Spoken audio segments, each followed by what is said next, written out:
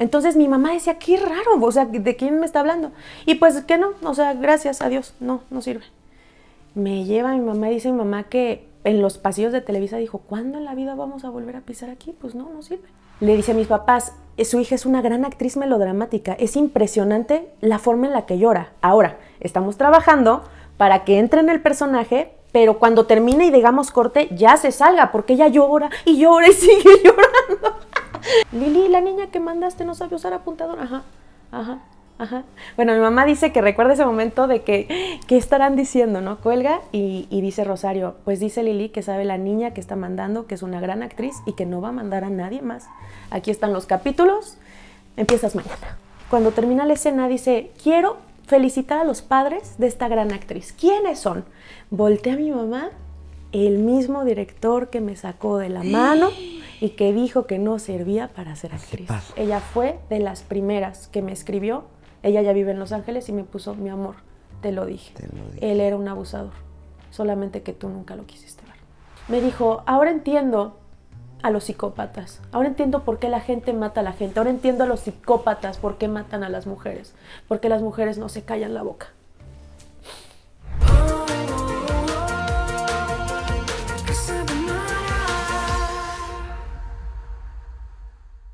Gracias por acompañarnos aquí en Casa de Mara. Bienvenidos a su casa, que saben que también es la suya. Gracias por recibirnos ahí donde siempre nos recibe, por eh, estar, por sus comentarios, por suscribirse, por ver las entrevistas. Gracias de verdad. Y hoy, fíjese que tengo una invitada muy especial porque nos va a compartir, además de su carrera profesional, además de sus eh, cuestiones personales, nos va a compartir cómo, cómo es el crecimiento de una actriz, cantante, porque además nos va a dar sorpresas hoy. Y me da muchísimo gusto recibir a una jovencita que, que, bueno, que se levanta y que es un ejemplo para todas las mujeres que nos están viendo en este momento y también para los señores caballeros. Así que me da muchísimo gusto recibir hoy aquí en Casa de Mara a Sandra Itzel. Bienvenida, preciosa. Muchísimas gracias. Es la bienvenida más hermosa. Qué honor para mí estar aquí contigo, una gran profesional, una institución de, de todo esto y, y en la comunicación y para mí es un honor estar sentada al lado de una gran mujer profesional como tú. Gracias por el espacio. No, gracias a ti porque ya chismeamos del cabello, ya me dio tips, ya, ya muchas cosas que también Sí. nosotras las mujeres, bueno, en lo particular, siempre que tengo alguna cuestión, eh, no sé, que me complique, ataco de inmediato el cabello. Así que, Ya bueno, somos dos, mi ya Mara. somos dos. Pero Ya bueno, somos dos. Vamos a comenzar platicando, Sandra Excel, de cómo llegas al CEA. ¿Cómo Wow. descubres que lo tuyo, lo tuyo, lo tuyo es este ambiente? Pues fíjate, Mara, que es muy curioso porque mi mamá nunca pensó que yo me iba Doña a dedicar Reina al aquí arte. presente. Sí, mi madre hermosa. Nunca pensó que yo me, me iba a dedicar a las artes. Ella pensó que yo iba a tener una profesión muy seria como tipo abogada, doctora. Mi abuelo soñaba con que yo fuera abogada, él le, le encantaba la política, mi abuelo Octavio. Entonces, eh, pues mi mamá trabajaba mucho, casi no estaba con, con mis- mi hermanito y conmigo, pero yo siempre tuve a mis tías, a mi abuelita, a mis primas. ¿Y tu Entonces, papá? mi papá también estaba, ¿no? Iba y venía. Este, y entonces eh, mi tía nos ponía a bailar y a cantar las, las canciones de Selena Quintanilla. Y mi tía Wendy, que es hermana de mi mamá, fue la que me echó el ojo y dijo, esta niña trae talento. Y le dijo a mi mamá, llévala, llévala, llévala, llévala. Total que bueno, no te quiero hacer la historia muy larga porque antes del SEA hubo algo muy importante y me encanta contarlo porque es de alguna manera decirle a la gente que no se rindan a sus sueños. Llega el casting de Carita de Ángel para buscar la protagonista. Mi tía le dice, llévala. En ese tiempo los castings, ¿te ¿Y si acuerdas? tienes carita de ángel? ma? Ay, muchas gracias, mi Mara, tú también. Era Eh, un ángel ya más mayor, pero bueno. un ángel hermoso. y entonces em, le dice, llévala, pero los castings eran, ya sabes, de que la puerta 2 te formas y ahí la gente, era, a mí me gustaba esa época de, de las novelas. Total que mi mamá era un sábado y ella trabajaba mucho. Me dijo, bueno, la llevaré y si nos da tiempo bien y si no, no, porque en ese tiempo vivíamos en Hidalgo. Entonces de Hidalgo viajamos a la ciudad y yo ya era la última de la fila, o sea, ya no había otra niña. Que ya se cerró el casting, que ya no va a pasar otra. De repente sale alguien de producción y empieza tú, tú y tú. Pero cabe destacar que yo siempre fui muy alta, o sea, fíjate en las ironías de la vida, yo era la más alta siempre. Y me acuerdo que no pasaba como el el límite de, de estatura, o sea, era- la- las querían muy bajitas. Mi mamá, encoge las rodillas, encoge las rodillas. Yo me acuerdo, ¿no? Y yo ahí encogiendo. Total que empieza el taller. Dice mi mamá que yo siempre salía como triste, como que, ay, que el director no me saludó, que no me hizo caso, así, ¿no? Yo siempre me quejaba de que algo me hacían el director en ese tiempo, ¿no? Total que un día sale el director de mi mano y le dice, mamá, su hija nunca va a ser actriz, es indisciplinada, es grosera. Y mi mamá, jamás en la vida, porque si algo que destacaba mucho la gente de mí es que yo siempre fui muy dulce, muy, muy risueña. O sea, yo nunca, bueno, hasta el día de hoy, Mara, no me sé defender. No me sé defender, no me gusta la confrontación. Me pueden agredir y yo le, huyo al conflicto. Entonces mi mamá decía, qué raro, o sea, ¿de quién me está hablando? Y pues que no, o sea, gracias a Dios, no, no sirve. Me lleva mi mamá dice mi mamá que en los pasillos de Televisa dijo, ¿cuándo en la vida vamos a volver a pisar aquí? Pues no, no sirve. Y ya no, que empieza Carita de Ángel, todas las niñas que estaban en ese taller no fueron protagonistas, pero se quedaron en el elenco o de extras. Y mi mamá decía, pero ni de extra, qué bárbaro, ¿no? Total que dice mi tía, el casting del SEA. Y dice, llévala. Y mi mamá, ay, no. Dice, pues es que ya la llevé. Dice, pues tal vez hay que llevarla a la escuela, ¿no? a que, estudie. Total que ya llego, este, empiezo a tomar clases y en una junta, Lili Garza, que si en este momento me está viendo, muchas gracias. Porque ella es gran responsable de, de, de mi carrera. Le dice a mis papás, su hija es una gran actriz melodramática. Es impresionante la forma en la que llora. Ahora, estamos trabajando para que entre en el personaje, pero cuando termine y digamos corte, ya se salga, porque ella llora y llora y sigue llorando. y entonces, pues ya, ¿no? A los tres meses de estar ahí, eh, le dice Lili Garza a mi mamá, la, queremos mandar a, un personaje para Carita de Ángel. Es un personaje muy importante, es una niña que tiene una discapacidad en una pierna, su sueño es ser bailarina, es hija de un payaso sin recursos económicos, entonces es un personaje que requiere mucha carga emocional y, la niña es perfecta, yo, yo le estoy mandando. ¿Qué? O sea, fue así como a los tres meses de estar en el SEA, ¿no? Total que llegamos a la oficina de, de Nicandro Díaz, que en paz descanse. Ay, mi Y en ese tiempo su jefa de reparto creo que era Rosario. Y entonces Rosario este, dice, bueno, que, ok, perfecto. ¿Sabe usar apuntador? Pues no. porque yo llevaba tres meses. El apuntador se enseña hasta el primer, hasta el segundo año, iniciando el segundo año. Y entonces dice, mamá, no, pues no. Y tronándose los dedos, porque dice, pues tal vez pierde la oportunidad. Lili, la niña que mandaste no sabe usar apuntador. Ajá, ajá. Ajá. Bueno, mi mamá dice que recuerda ese momento de que, ¿qué estarán diciendo, no? Cuelga y, dice Rosario, pues dice Lili que sabe la niña que está mandando, que es una gran actriz y que no va a mandar a nadie más. Aquí están los capítulos, empiezas mañana. Y entonces así inicia, ¿no? Inicio, me acuerdo que mi primera escena tenía que llorar en medio de la escena, tenía que cojear, me pusieron una tablita. Yo me acuerdo que cuando vi mi vestuario decía, wow, ¿por qué mi vestuario está roto? O sea, es que yo era una niña de seis años, o sea, yo no entendía muchas cosas. Total que empieza la primera escena y lloro, mi papá, nos abrazamos, corte y todo el mundo en silencio. Y mi mamá, ¿lo habré hecho bien? ¿Lo habré hecho mal? Porque nunca me había visto actuar mi mamá en su vida. Total que de repente empiezan todos los técnicos, ¡bravo! Así lloraban. Y mi mamá, bueno, orgullosísima, lo recuerda como uno de los momentos, de todos los que hemos vivido juntas en mi carrera, ese es uno de, los, de sus favoritos, porque pues sí, no, no sabía. Y entonces, bueno, para no hacerte el cuento largo, este, llega una escena de noche donde asaltan a mi papá, acaba de ganar un dinero, eh, lo golpean, yo llorando, papito. Y entonces en, ese, en, esa escena el director era diferente. Cuando termina la escena dice, quiero felicitar a los padres de esta gran actriz. ¿Quiénes son? Voltea a mi mamá, el mismo director que me sacó de la mano y que dijo que no servía para ser actriz. Así pasa. Así pasa. Mi mamá no decidió no decir nada, o sea, simplemente muchísimas gracias. Yo creo que ni se acordaba de mí, el director, o sea, no se acordaba de que yo era esa niña la que sacó. Y, así son las cosas, así es la vida, Mara. Y esta historia me gusta contarla porque el hecho de que te digan que no en una ocasión no significa que no tengas talento o que no seas capaz o que no lo merezcas. Tal vez no era tu momento, pero al final se abren puertas y esa puerta que, se abrió con Chabelita tenía que ser Chabelita, porque gracias a Chabelita, eh, uno de los coescritores de Cari Fager, mi hermosísimo Alberto, eh, escritor venezolano, me vio y me recomendó para mi primer novela en Estados Unidos, que fue Gata Salvaje. Ah, con Marlene Favela. Ella era mi hermana, Marlene Favela. Yo era la hermanita de Marlene Favela. Y luego hiciste em, Mi Pequeña Traviesa. Ese fue la primerita cosa que hice. Pero de que una, un episodio, una participación especial, ahí fue como que empecé también a, a tomarle el gusto a, a todo este medio. Pero desde niña yo sabía que era lo que yo quería hacer. Yo me paraba en la chimenea de mi abuelita cuando cantábamos y bailábamos las canciones de Selena, veía la película de Selena y yo decía, yo quiero ser como ella. Cuando sea grande yo quiero llenar grandes escenarios, quiero cantar, quiero, o sea, yo me veía en la luna, así como ella. O sea, yo a lo que me dedico hoy es a lo que yo siempre soñé dedicarme y es algo que le agradezco mucho a mi tía y sobre todo a mi mamá, porque mi mamá dejó sus sueños, dejó su carrera, dejó todo para apoyarme. Y eso es algo muy importante y nunca fue una madre, porque conocemos casos, ¿no? De Sí, padres que sí. explotan, de padres que roban el dinero. Hasta el día de hoy mi dinero es íntegro, intacto. Este, mi mamá ha sido mi mejor amiga, mi mejor compañía, eh, eh, me ha cuidado también mucho. Todas las producciones cuando escuchan a- de mi mamá, salúdame la doña reina, súper linda, Sí, cero metiche. Ay, muchas gracias, mi Mara.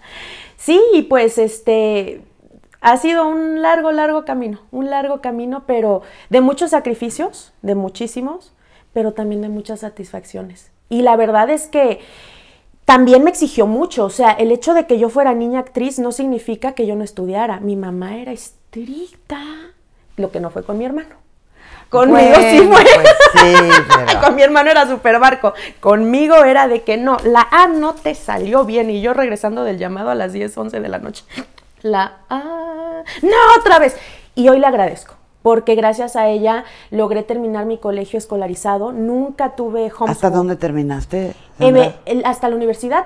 Ya la prepa, la prepa todavía la hice escolarizada. Este, la verdad es que agradezco también mucho a mis colegios en Hidalgo, en Tulancingo, que siempre me apoyaron mucho. Cuando me fui a grabar a Miami, yo tenía mi paquete mexicano, o sea, yo ya estudiaba mi, mi- todo, mi, mi ciclo escolar mexicano con un tutor, después mi mamá, y, des- y también estudiaba en la escuela, y encima trabajaba en la novela. O sea, yo nunca, yo creo que por eso tal vez siempre he sido muy responsable y muy workaholic, porque yo estar un segundo quieta, para mí es, ¿por qué no estoy haciendo nada? ¿Por qué estoy descansando? qué feo. Sí, porque sí, era Escuela de México, Escuela de Estados Unidos, trabajo, siempre así fue. Y de la prepa yo salí con excelencia académica y no iba, no iba a la, a la prepa. O sea, iba, venía así, todo. A mí me tocó estar en la Academia Bicentenario cuando estaba en la prepa y mis maestros, mi colegio, eh, el, el Pedro de Gante, que los amo mucho, gracias, me apoyaron mucho. Y salí con excelencia académica, con 9.8. ¿Y la universidad hasta qué grado llegaste?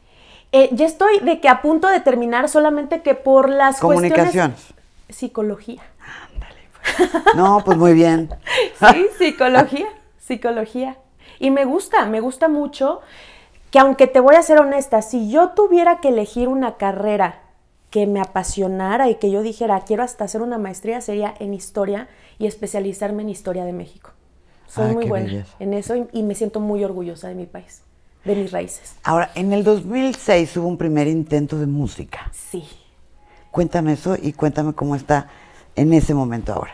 Ay, fíjate que justo cuando termino Ángel Rebelde, regreso y estoy en esa etapa, ya sabes, de, la, de, de que no eres niña ni adulta, de que tienes 11, 12 años, pero estás como medio raro, y pero la nariz está fea, sí. pero tienes, pero no tienes, raro. Y entonces yo les dije a mis papás, yo quiero cantar. Así, porque es que mi sueño siempre fue cantar, se dio la actuación primero. Y mis papás, ¿qué? O sea, como yo nunca lo había expresado, sí, que quiero cantar. Ah, yo pensé que eso era como un sueño, ¿no? Como tipo de que Selena era un sueño, pero no, es una realidad, ¿de verdad quieres cantar? Sí. Y mi papá es este compositor, también ha estado mucho en la música. Él es de la época de Fato, de Rayleigh. Ay, Ajá. claro. Era muy amigo de Fato, muy, muy, así de que compadres. Entonces, eh, dice mi papá, ok, pero primero te tengo que escuchar. Y es algo que le agradezco mucho a mis papás, que nunca me dieron el avión y que el amor de padres jamás les cegó. Ellos decían, sí. a ver, Es ¿sirves importante. o no? Porque si no, no te voy a exponer a que grabes algo que no. Total que reunió a varios amigos, me puso a cantar Y yo, pues nerviosa, ¿no? Se van los amigos y me dice, sí, te vamos a hacer el disco. Sí. Y entonces con, la, con una parte de lo que yo había ganado ya en mis novelas, pero la mayor parte con ahorros de mis papás, se hizo el, Invirtieron primer disco, en el, primer, disco. ¿Y cuáles fueron los resultados? Muy buenos, o sea, me empecé a presentar abriendo teatros del pueblo artistas muy famosos, Yuridia, Julieta Venegas, Bolobán, Playa Limbo, Kalimba, Miriam Hernández, o sea, yo les abría los conciertos y la, la gente le gustaba y eso que me presentaba con pistas, ¿eh? Yo me acuerdo mucho de un evento, eh, de un show que, que en Pachuca, que la principal era Julieta Venegas, y yo me acuerdo que la gente estaba muy enojada porque ya había pasado un tiempo, pero pues la gente no entendía que era parte del horario, ¿no? Total, que yo tenía miedo de subir y me, y me agarra el manager de Julieta Venegas en ese entonces, que yo no sé si sigue siendo era un argentino, y me decía, vos vas a subir, ya, y lo vas a hacer bien, y la gente te va a amar, porque tú naciste para esto, así que no, no tengas miedo y sube. Y en ese momento sale Julieta y me da una patadita como de la buena suerte y subo y la gente estaba ah, aventando elotes a los anteriores este, artistas les aventaban elotes, chicles, botellas, horrible. Salgo yo y digo, buenas noches Pachuca Hidalgo. silencio. Y yo hasta en ese momento yo dije, ¿será que tengo un superpoder? Sí, yo dije, Canté, ¿qué serán? Cinco canciones y a la quinta todos, otra. Yo, yo hasta decía, no lo puedo creer si ya aquí está Julieta, ¿no? Pero pues obviamente como la actuación siempre fue mi principal eh, fuente de trabajo, siempre la música yo la dejaba como un hobby, ¿no? Después este, empecé a trabajar mucho en decisiones extremas, en La Rosa de Guadalupe, en series terminales. Y llega la oportunidad de irme a Miami en el 2011, o 2011, sí. Y hago tres novelas consecutivas con Univision. El Talismán, Rosario y Cosita Linda. Y en ese inter, un productor cubano, eh, fíjate que Dios todo lo, conjuga, ¿no? Una amiga en común que trabajé con su hijo de niña en Gata Salvaje, conoció a este productor y entonces nos conectamos y decidió producirme mi siguiente álbum que es este Atrévete. Y me fue muy bien, era eh, es un, material discográfico que de hecho está en Spotify y es muy lindo, pero tampoco lo pude mover tanto. ¿Por qué? Porque, bueno, aparte de que era eh, temporal estar en Miami, en Miami también aprovechaba a, bueno, el cónsul de México en Miami se enamoró cuando me vio cantar con mariachi, de, o sea, se enamoró del, del proyecto y ya me llamaba a cada rato, o sea, ya eran eventos diplomáticos y Sandra con el mariachi, siempre. Este, pero entonces, en esa etapa en Miami me surge trabajar en Colombia en una serie que fue eh, ¿Quién mató a Patricia Soler? para RCN y Mundo Fox, que era hija de Itati Cantoral, de hecho, y que es la versión de la madrastra, pero en colombiano. Ya. Así. Y dejo el proyecto, dejo todo para irme a Colombia. Y después de Colombia regreso a México, hago El Señor de los Cielos, la tercera temporada, y ahí es cuando como que empieza un limbo donde me dedico full a ser esposa y ama de casa.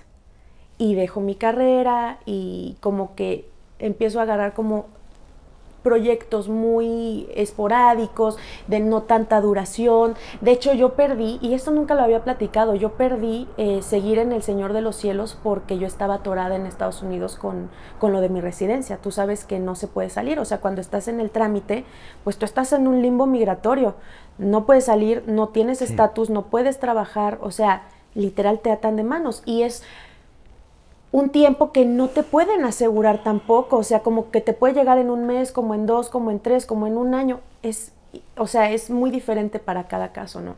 Entonces, pues sí, o sea, pasa todo ese tiempo, me dedico a ser ama de casa, después llega una oportunidad eh, de un reality de, música y de puras mujeres y de música regional, que es lo que a mí siempre me ha gustado, ¿no? El mariachi. Y me voy a la Reina de la Canción con Univision, participa, representando a Miami y este, yo hice mi casting en Chicago. Uf, es, que si yo te contara toda, toda, todas las pues cosas nos que quedamos dos semanas. Nos quedamos un mes. Pero bueno, estoy en ese reality y fue una experiencia muy linda, muy linda, este, poder incluso conocer canciones que yo no había escuchado jamás, eh, empaparme tanto de la cultura mexicana.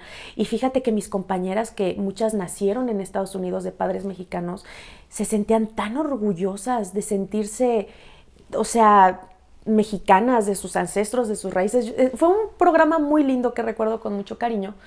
Pero pues después otra vez al limbo. Estuve mucho tiempo sin trabajar. Este, hasta que regreso a, México, porque en ese tiempo mi ex marido agarra un proyecto aquí y pensamos que iba a ser temporal, o sea, como de que venimos, haces tu proyecto y nos regresamos. En ese proyecto, pues él quedaba incomunicado, este, él se iba a competir, ¿no?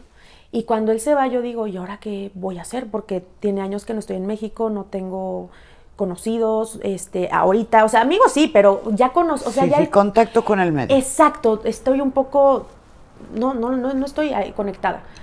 Y de repente conozco una agencia de booking que creo que ya tampoco existe, que eh, estábamos planeando cómo vender fechas con mariachi. Y de repente este, me, dice, me dice uno de ellos, el chamo, oye, ¿a ti te interesaría cantar cumbia?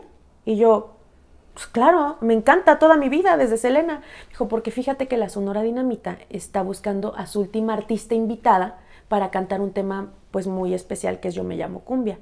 Y yo, wow, sí, claro que quiero porque pues yo trabajé en Colombia, mis mejores amigos son de Colombia. Sí, claro, o sea, como que es como un mensaje de amor y agradecimiento a Colombia. Le dije, claro que quiero hacerlo. Y así es como formó parte del material discográfico Entre Amigos. E, en ese material está Ninel Conde, está El Mimoso, está Rocío Banquels, está Alex Lora, este, estoy yo, Sandra Itzel. Y al año de haber formado, o sea, me presenté con ellos, me invitaron a cantar en Iztapalapa, en el Zócalo, el 15 de septiembre, que fue uno de los momentos más especiales de mi vida. Y al año me invitan a formar parte como vocalista.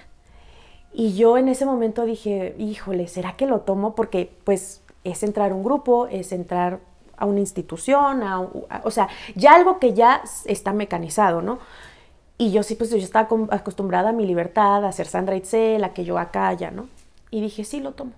Y la verdad, a pesar de cómo fue el final y todo lo triste que pasó y lo mucho que me rompieron el corazón, yo te puedo decir que hasta el día de hoy yo, yo sí pienso que fue una de las mejores decisiones que tomé porque aprendí mucho, crecí mucho como cantante, viví momentos muy especiales cuando eso inició.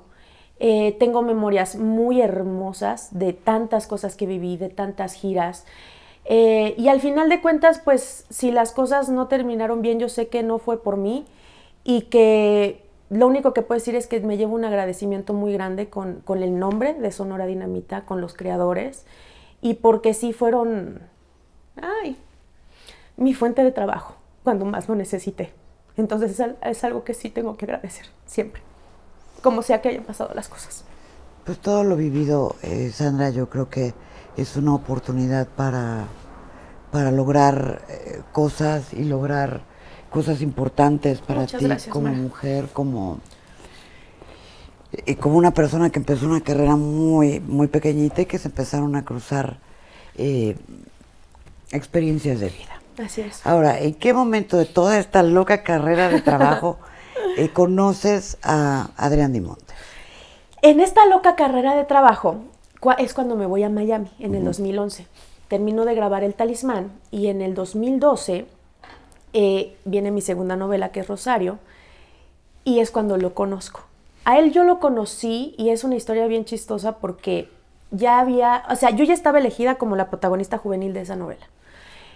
Y yo solamente tenía que castear a dos actores. Uno de ellos ya trabajaba con él en el talismán. Entonces, pues ya lo conocía, lo quería muchísimo. De hecho, este, me la pasaba muy bien, Adrián Carvajal, te quiero mucho. Y estaba Adrián, que era nuevo, o sea, él no había hecho nada más que estar en un reality que, fue protagonistas en Univision. Y entonces, em, cuando yo lo conozco, yo me acuerdo que yo estaba grabando y la producción me llamaba, ya vienes a, la prueba, es que el señor se tiene que ir porque tiene un examen final. Y yo, ¿y eso a mí qué? O sea, yo por mí, feliz y encantada voy a hacer la prueba, pero yo estoy grabando aquí con ustedes para su producción. ¿Cómo creen que yo voy a decirle al director, bueno, nos vemos, adiós? Entonces, organícense con producción y yo voy.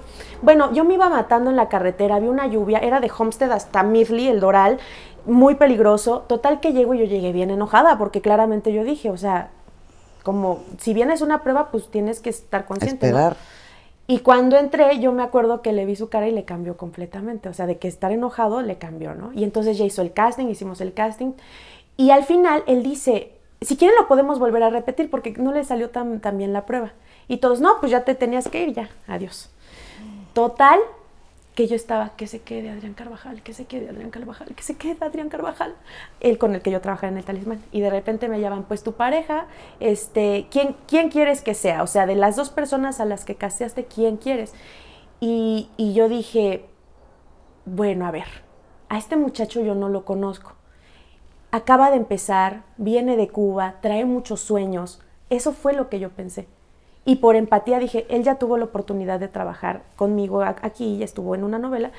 Y yo les dije, pues denle la oportunidad a él. Además, pues yo creo que podría ser un buen nuevo galán. Y me dicen, perfecto, te, te mandamos la decisión, ¿no? Cuando de repente me llaman y me dicen, pues que sí, que tu pareja va a ser Adrián Di Montello, así de, bueno. ¿A ti no te gustó cuando lo viste ni nada? X. No, no. ¿Y luego? Y entonces empezamos a trabajar en trabajos de mesa y me acuerdo que él llegaba tarde porque vivía hasta el norte, hasta West Palm Beach, y bajaba a, Miami a, grabar, o bueno, a trabajar, ¿no? Y me acuerdo que lo regañaban mucho los directores, pero mucho, que no, que no lo estás haciendo bien, que llegaste tarde. Y entonces para mí eso me, daba mucho dolor porque yo sé lo que es una persona que tenga sueños, que, tenga ganas, que tenga pues esa, esa cosa de querer, ¿no? Y, yo dije, o sea, yo dije, me comprometo a ayudarlo para que él no la pase mal, para que le vaya bien aquí, para que crezca. Y entonces me acuerdo que él me decía, vamos a ensayar. Y yo, pero pues ya ensayamos aquí. No, vamos a ensayar a, tu casa. Y yo, ¿a mi casa? yo, no, yo soy súper celosa con mi espacio. O sea, yo decía, ¿cómo cree este hombre que lo voy a meter a mi casa si ni lo conozco? Y entonces así, ¿no? Todos los días vamos. Y además le decía yo, ¿para qué quieres ensayar afuera si para eso están los talleres? Bueno, total que un día me dice, oye chica, vamos a ensayar, aunque sea aquí a McDonald's de la esquina. Y yo le dije, me dio mucha risa. Le dije, vamos a mi casa. Pero no se esperaba con que estaba la mamá mexicana y el hermanito, porque yo me fui con, mi familia. Sí, claro, pensó que estaba sola. Claro, y aparte yo era menor de edad cuando fui a Miami. Él pensó que estaba sola, pero no. De repente mi mamá, buenos días, mi hijo, te ofrezco café, te ofrezco, ya sabes cómo son las mamás mexicanas. Claro. Se le hacía rarísimo, de que mi hijo la galleta. No, muchas gracias, que yo estoy a dieta. Siempre llevaba un termo, siempre llevaba un termo de agua vestidito como, como de los años 20, o sea, él era como muy antique. Es, que me parecía muy, muy curioso. Como Cuba, muy como que el tiempo se detuvo. Sí, sí, justo. Y mi hermano, ¿qué onda? O sea, ya no. Bueno, bailamos, cantamos, echamos emalle, todo menos ensayar. echamos emalle, todo menos ensayar. Y de ahí como que lo empecé a conocer un poco más. Y en ese momento, como yo lo veía tan nuevo en la actuación, en el medio, acababa casi, bueno, no, no acababa, pero sí que tendría seis años que llegó de Cuba, o sea, como que lo veía muy inocente, muy ingenuo, este, lo veía muy así y eso me empezó a enamorar, que me mostró una cara de falsa bondad. Eso fue lo que a mí me enamoró, porque a mí, Mara, no me enamora tanto el físico, sino cómo es la persona, el ser humano es lo que me enamora. El admirar a alguien, en, ¿sabes? O sea, como ver en esa persona algo que va más allá de lo físico, sino de lo espiritual. Entonces así fue como me empecé a enamorar de él. Empezamos a salir, yo a los 18 años le lavaba, le planchaba. ¿Y por qué? No sé. Yo lo veía tan solo porque de hecho, fíjate, él vivía hasta el norte, más allá de Fort Lauderdale. Él hacía como que... No, pues sí está lejos. Una hora y media. Estaba por Boca Ratón, Boynton Beach, por allá. No, bueno, muy lejos. Muy lejos. Y entonces para llegar él era diario y un día le dice a mi mamá, oye, ¿tú viajas diario? Sí. ¿Por qué no pides departamento a la producción? Ah, porque no, no, no sabía. dice mi mamá, pídeles, porque no es, o sea, tú vienes de muy lejos, o sea, eres como un actor eh, fuera de Miami. Claro. Y así fue como él pidió y sí se lo dieron, que hasta la producción le dijo, ¿cómo que no vives aquí? ¿Por qué no dijiste antes? Y ahí fue cuando ya le dan su departamento y ahí es cuando yo empiezo a visitarlo más y tenía un desorden, eh, siempre fue muy desorganizado. Entonces pues yo en la educación de provincia, de familia. Le ayudabas, pues le lavabas la ropa. Todo. ¿Y él qué hacía o qué? Sí, iba al gimnasio, este, hacía sus cosas. Pero, por ejemplo, eh, sí, yo desde, desde que lo conocí, yo lo atendí desde que tengo es, o sea, desde que yo empecé a salir con él, yo lo atendía. Y así duramos saliendo varios tiempo hasta que llegó un momento donde yo le dije, oye, pero ¿qué somos? O sea, porque salimos al cine, hacemos cosas de novios, nos damos besos como novios. Y él me dijo, ah, pues es que ya somos novios. Y yo, pero nunca me lo has preguntado. Me dice, ah, no, es que en Cuba cuando uno dice vamos, ya es tu ah, pero es que en México es de otra manera, ¿no? Bueno. Justo. Pero ¿sabes qué, cuál fue el problema, Mara? Que yo siempre lo entendí. Y siempre fui muy empática. Y tal vez ese fue mi error. Que no aprendí a poner límites. A decir, no, a ver, perfecto, yo te entiendo que así es en Cuba, pero en México es así. Nunca, nunca hice eso. Y creo que ese fue mi error. Siempre lo entendí mucho, siempre lo compadecí, siempre lo justifiqué. Siempre fue, ok, es porque está enojado, es porque tiene hambre. Siempre todo, todas sus acciones yo las justificaba. Todas. Porque trataba de entenderlo. Y lo, he hecho con él y lo he hecho siempre en mi vida. Yo siempre he sido muy empática de ponerme los zapatos de los demás. Entonces, eh, todo en ese momento, discusiones pequeñas de novios, tonterías. Ningún foco rojo de agresión de faltas de respeto. Celoso, muy celoso. Yo me acuerdo que un día se puso muy celoso de un actor que salía de su papá. Ah, Nada más porque lo abracé. Nada más porque lo abracé. O sea, ese tipo de cositas de celos enfermos sí los vi, pero tampoco llegaron a otro, no escalaron, pero sí eran peleas no muy fuertes, pero sí que yo decía, son, son tan innecesarias, o sea, no entiendo. Pero todo empezó cuando yo ya empecé a decir, wow, cuando yo me voy a Colombia. Pero ya se habían casado. No, éramos novios. ¿Cuánto tiempo duraron de novios? Tres años.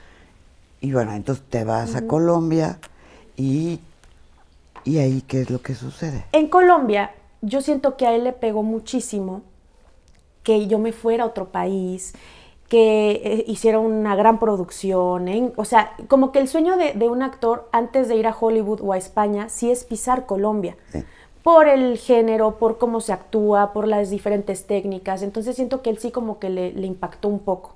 Porque encima yo no hice casting, o sea, me llamaron y eres tú. Entonces como que sí fue como de, ¿por qué se va? Pero, ¿sabes? Y estamos muy acostumbrados a estar juntos. Entonces él le pegó mucho. Estando allá, pues obviamente empecé a tener amigos, empecé a tener una vida social, de repente subía videos bailando, que reggaetón, cualquier cosa, quería como manejar un poco más mis redes, porque en ese tiempo yo no era tan de redes sociales. Y de repente un día subo un video bailando reggaetón y me empieza a insultar horrible. Que era una, que era una, que era una regalada, que a quien yo quería venderle mi cuerpo, como que en quien yo estaba interesada que me viera. Horrible obviamente eso me empezó a afectar en mi trabajo. Yo llegaba muy desconcentrada. Claro, en las escenas nunca fallé, pero las maquillistas enseguida me veían y me decían, ya estás peleando con él, ya te está haciendo la vida imposible. Y yo sí. Y me acuerdo mucho de la jefa de, de diseño de imagen que ella me decía, mi amor, no, no lo permitas, no permitas que irrumpa tu paz, no permitas que dañe tu trabajo, no, mi amor, no. Que al día de hoy, pues fíjate, cuando pasó todo esto y que subí mi, que se, subió mi información y se hizo todo esto mediático, ella fue de las primeras que me escribió. Ella ya vive en Los Ángeles y me puso, mi amor, te lo dije. Él era un abusador, solamente que tú nunca lo quisiste ver. Así me lo puso. Y cuando vi, yo dije, Jackie, qué razón tenías.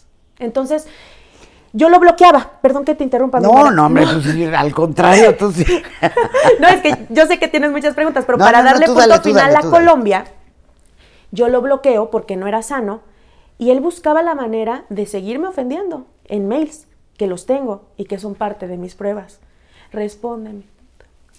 Y que, o sea, cosas horribles, horribles, pero que yo decía, tal vez es porque él le está doliendo mucho que yo no esté Total que un día yo iba a hacer, yo iba a trabajar en un dueto con un eh, cantante muy famoso italiano y empezamos a tener conversaciones, pero normales, o sea, como para conocernos a distancia, porque claramente pues no podíamos coincidir. Él no sé cómo abrió mi teléfono y empezó a ver las conversaciones y no, bueno, para él fue que yo le puse el cuerno, las conversaciones Mara, te lo juro, no tenían nada, o sea, tú dijeras una foto inapropiada, una palabra que dijera me gustas o ya quiero verte, nada, todo era de que, ay, ¿qué, ¿y qué comida te gusta? ¿Y cuál es tu color favorito? O sea, cosas de que cuando empiezas a conocer a alguien como para no, no, no entrar de cero, ¿no? Lo que querían era que nos conociéramos un poquito para que cuando llegara el momento de trabajar no fuéramos tan indiferentes. Y en un punto me, me, mencionó algo así de que, como que, ¿cuáles son tus películas favoritas? Y yo le puse, la verdad, aunque sufro mucho, las de terror, soy medio masoquista dijo que era una connotación sexual, que yo me estaba vendiendo con él, que yo casi casi me le estaba ofreciendo como que yo era una gran la cama. Horrible. Horrible. Porque te gustaban las películas de terror. Sí, porque dije que yo era masoquista porque me gustaba sufrir. Está cañón, no bueno. ¿Y luego? Entonces, este, él se regresa a Miami, yo me voy a regreso a México y como que volvimos a, a, o sea, como que nunca nos dejamos, yo lo perdoné este, ¿Te pidió perdón? Sí, o sea, como que me dijo, vamos a intentarlo, o sea, fallé, etc. Pero nunca me dijo, perdóname, fallé. No debía hacer esto, lo volvemos a intentar. Nunca, nunca, Mara, nunca. Yo escuché, perdóname por lo que hice, nunca. Y entonces, en el 2015, decidimos casarnos. Yo en ese tiempo era muy cristiana, muy cristiana. ¿Cristiana o católica? Cristiana, en ese momento. Católica de, nacimiento, después me volví muy cristiana, ahorita solamente creo en Dios y en las buenas acciones y respeto todas las religiones. Y creo que cada una aporta cosas muy especiales a la vida de las personas. Pero bueno, en ese momento yo era muy creyente del cristianismo y, yo como que decía vivir en fornicación y ya somos novios. ¿Vivían ya juntos? Sí, toda la vida siempre vivimos juntos. Entonces, de repente yo me iba a México y él se queda en Miami, pero siempre estábamos juntos. Total que tomamos la decisión de casarnos. Y en ese momento me acuerdo que él su sueño era venir a México. Entonces también como que se le hizo fácil decir, me caso con ella, tengo los papeles y todo es más fácil, porque los, los contratos de trabajo sí te los dan, sí, claro que te los dan, pero se tienen que renovar. No es tan fácil, o sea, hacerte residente o, o un ciudadano mexicano si no es que estás casado, ¿no? Y en ese momento este, también pensamos, pues también, imagínate, también vas a ser eh, residente o lo que sea, ¿no? En Estados Unidos. Y yo la verdad, lejos de eso, a mí lo único que me importaba era no estar como en ese limbo. Y eso es algo que sí me gustaría decirle a las mujeres y que cada vez que conozco amigas les digo, si tienen la posibilidad de casarse y no vivir en, en unión libre, háganlo, porque es un compromiso que están agarrando porque es muy fácil para el hombre decir, ya vive conmigo, no tengo responsabilidades con ella, y a mí eso no, no se me hace lindo. No sé si tal vez esté muy chapada a la antigua, si mi mentalidad sea diferente, o si no, simple y sencillamente creo en la familia, creo en el matrimonio, creo en, las relaciones de verdad, creo en, en el amor. No, sí creo en el amor eterno, claro que sí. Cuando encuentras una persona que te ama y que te respeta, ¿por qué no debería ser eterno? Todos seres humanos tenemos fallas pero siempre se pueden reparar. Yo siempre fui con esa mentalidad de que todo lo que se rompe se puede volver a armar. No como en la actualidad que lo que se rompe se tira a la basura. Para mí esa mentalidad no, no va conmigo. Entonces, este, nos casamos, fue una boda muy pequeña, él sabía perfectamente que mi sueño era casarme grande en México con mi familia, que me entregara a mi abuelo en el altar, y pues no, fue una boda muy pequeña en la playa, nada más estuvieron sus padres, eh, sus tíos, su tía que es notaria nos casó y después nos fuimos a comer pizzas a un restaurante. esa fue nuestra boda, ¿no? Y él siempre vivía con la cosa de que pues algún día, algún día. Pero ¿para qué? ¿Para qué te quieres casar? O sea, a él nunca le interesó lo que yo sintiera, a él nunca le, importaron mis sueños, a él nunca, nunca. Y entonces, eh, después de que nos casamos, justo, justo después, empiezan las infidelidades. Yo empiezo pues con los trámites, o sea, yo, yo a él le hice todos los trámites mexicanos, todos. Él no contrató abogado, yo se lo hice todo, todo. Y él, pues al día de hoy es permanente, o sea, él, él si quisiera hacerse ciudadano no lo puede hacer. Y yo, en mi caso, él a mí no me contrató abogado sabiendo que estaba en un país completamente diferente que sé hablar inglés, sí lo sé hablar muy bien, pero hay términos legales que yo no entendía y, él no me puso abogado, yo lo hice todo solitita. Y eran seis formas migratorias, porque era que el affidavit of support, que change of status, que el form for residency, que reentry permit, que eran miles. Y todos los hice yo sola. Y de repente yo llegaba a preguntarle, oye, ¿me podrías ayudar como con esta palabra? Ay, ay, no, no, no sé. Y se iba. Y ahí fue, en, ese, en esa etapa donde yo sufrí la máxima violencia psicológica y económica que viví con él. ¿Por qué? Ay, él estaba en una novela y me acuerdo que nunca me llevó. Eh, sus compañeras subían cosas y la verdad es que a ellas no las juzgo porque ellas no tienen la culpa. Simplemente él se vendía como soltero. Él no respetaba nuestra relación. Entonces yo le decía, ¿por qué tu compañera te toca o te besa tan cerca, o sea, es que estás enferma, es mi compañera, le dije, pues es que en el set yo entiendo que pues se tengan que besar, hasta yo veo contigo tus escenas de cama y te digo, pero fuera del set, ¿por qué? No, que estás loca. Y me acuerdo que, que pues en ese tiempo yo no podía trabajar, entonces empezaba a hacer como mis videos, blogs para, para las plataformas y de que cocina conmigo, o sea, yo de verdad, Mara, le echaba muchísimas ganas, muchas y yo quería como que él me viera fuerte, como que me admirara, pero yo creo que era todo lo contrario. Y entonces él llegaba y llegábamos a tener alguna discusión y me decía, es que yo estoy harto de llegar a mi casa y tener que ver a ese hipopótamo sentado en la sala. Y yo le decía, ¿cómo?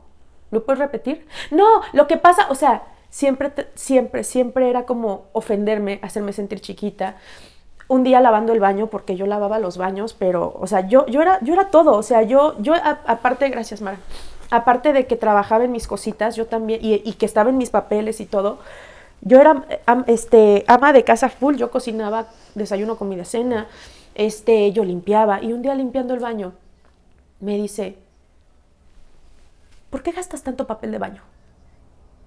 ¿Por qué gastas tanto? Y yo me le quedé viendo y le dije, yo no lo gasto, pues es, o sea, se gasta, pero no lo gasto yo, pero aunque lo gastara yo, o sea, es como que raro, ¿no? Como si un papel de baño costara tanto, ¿no? Era hacerme sentir chiquita. Un día, por ejemplo, la membresía del Costco, una amiga mía me la pidió porque necesitaba comprar como muchas cosas, que al día de hoy es mi mejor amiga y, ha sido uno de mis más grandes apoyos, Ana. Y yo le dije, oye, ¿me podrías prestar tu membresía nada más para que pueda entrar a la tienda y, pueda como pasarla y ya ella paga? que por qué, que yo no quiero, que por qué jodes, por qué jodes, por qué jodes. Así era, yo te digo, Mara, yo siento que en ese tiempo él me odiaba. O sea, porque yo no encuentro otra forma de... Yo no encuentro otra forma de entender cómo una persona puede llegar a ser tan cruel con alguien. A menos que te odie.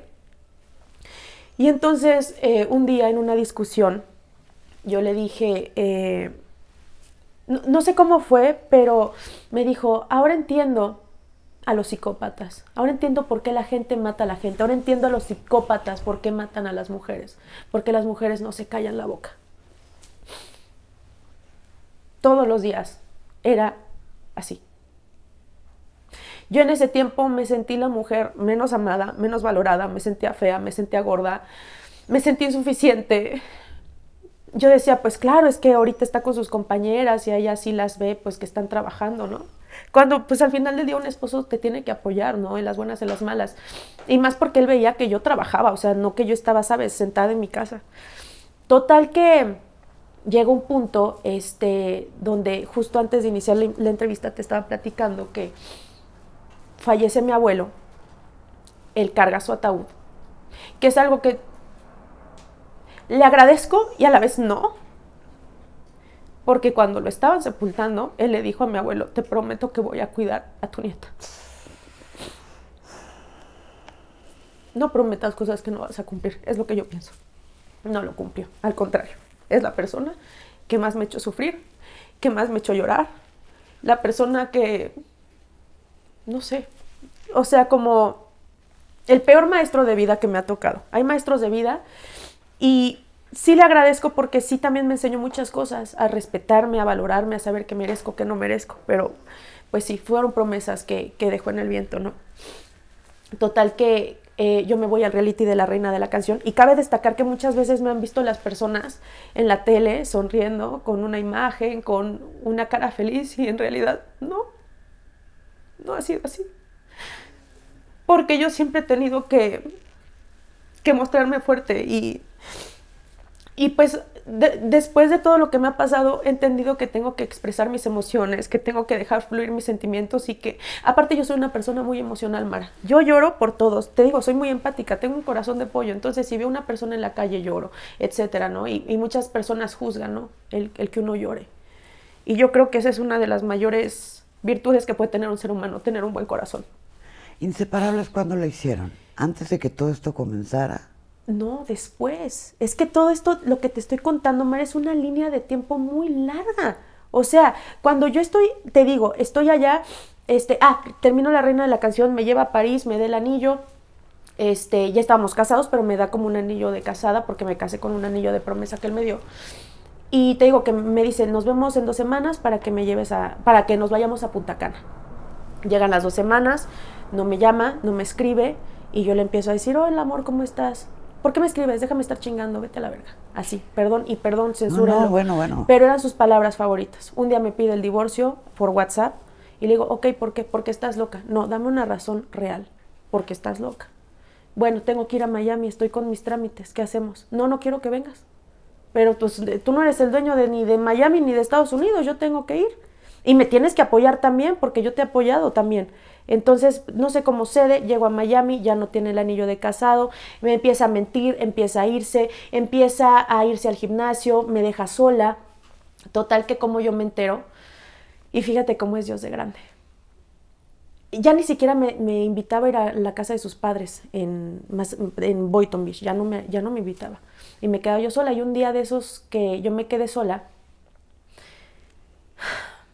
le llamo a su hermana y le digo, por favor, de mujer a mujer, te pido que me digas la verdad, porque estoy aquí sola, porque me maltrata, porque no tengo a nadie y porque yo solamente necesito saber la verdad.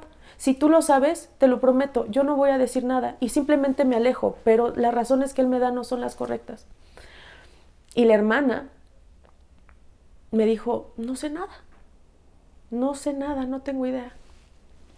Ok, pero lo siento mucho, voy a hablar con él. Mm, ok, cuelgo con ella. Ay, Mar, es que te lo juro que me acuerdo como si fuera hoy, ese día, en la cama extendida, yo completamente desarreglada. El sol de Miami hermoso afuera. Tenemos una ventanita en ese, en ese estudio porque cabe destacar que yo lo acompañé en toda su carrera cuando él no tenía nada. Gracias, Mara. Yo fui la que estuvo con él cuando tenía un carrito descarapelado. Yo, lo, yo vi su evolución, pero yo siempre viví con él en suites, en lofts. Nunca viví en una casa, o sea, con él, nunca, nunca, nunca. Y entonces, este, deja su computadora y yo ya le iba a cerrar, estaba viendo algo, pero de eso que ves y no ves, porque pues en realidad no te interesa nada, estás deprimido. Y empieza a sonar una llamada, tin, tin, tin, una videollamada. Y yo, contesto y veo la cara de la mujer que te enseñé.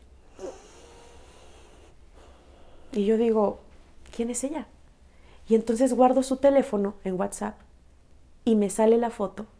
Y es la misma persona que yo vi que empezó a seguir, con la que subía videos, que con la que iba al gimnasio.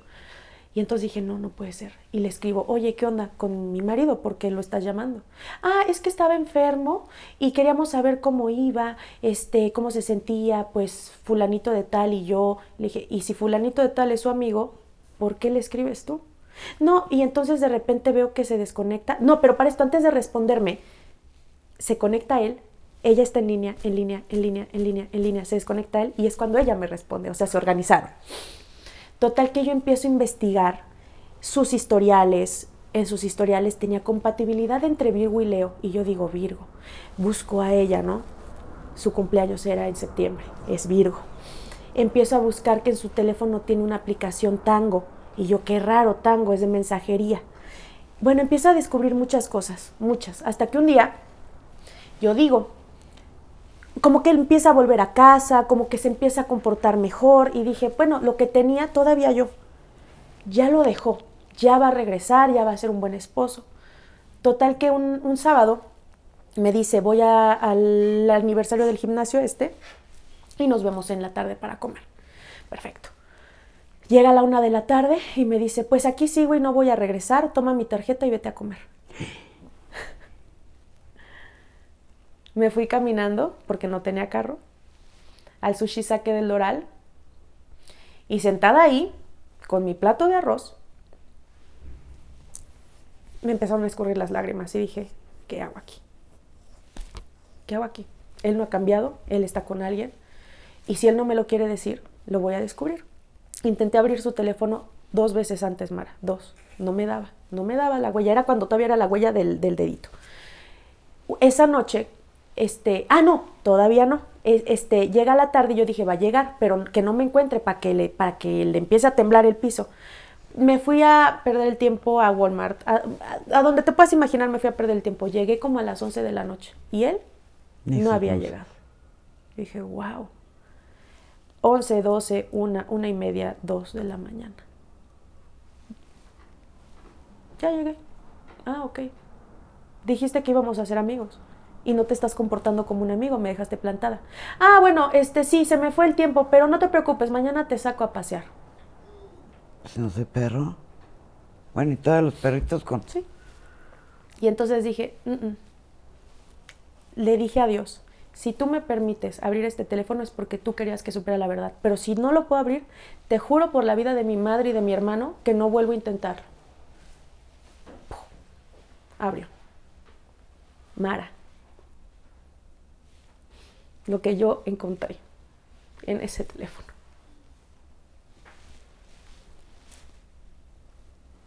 no se lo merece ninguna mujer, ningún ser humano. No era infidelidad, era hablar mal de mí, era ver mensajes con su hermana, su hermana diciéndole, sí, sí, ya déjala, es una estúpida niña, berrinchuda. La misma hermana a la que yo le llamé para pedirle que me dijera la verdad, hablando horrores de mí, con mujeres, con esa misma mujer diciéndole que yo no lo cuidaba, cuando yo me desvelaba cuidándole la temperatura.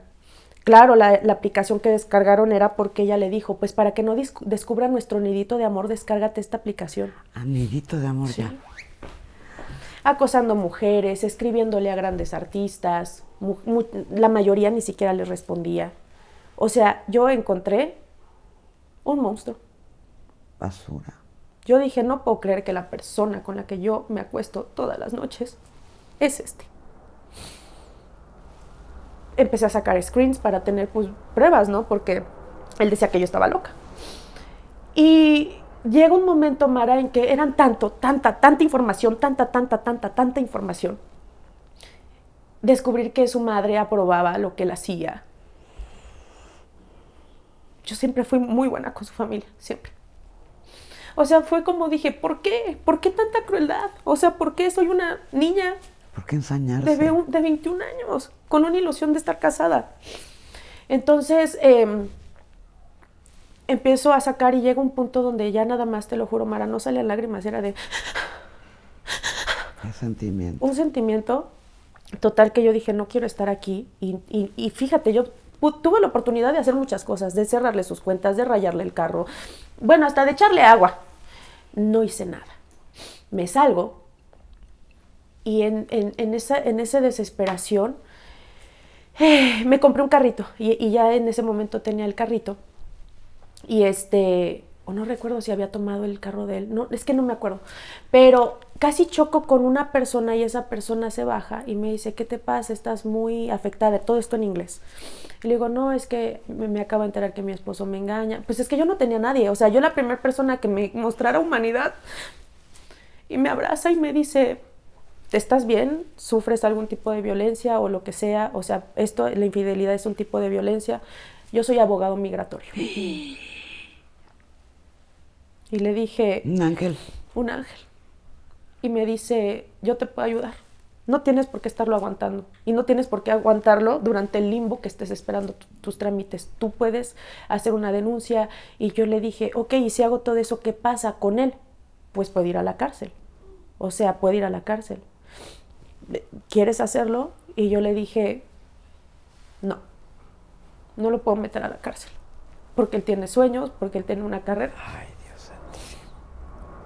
Y él me dijo, ok, está bien, no lo hagas. Pero te voy a recomendar algo.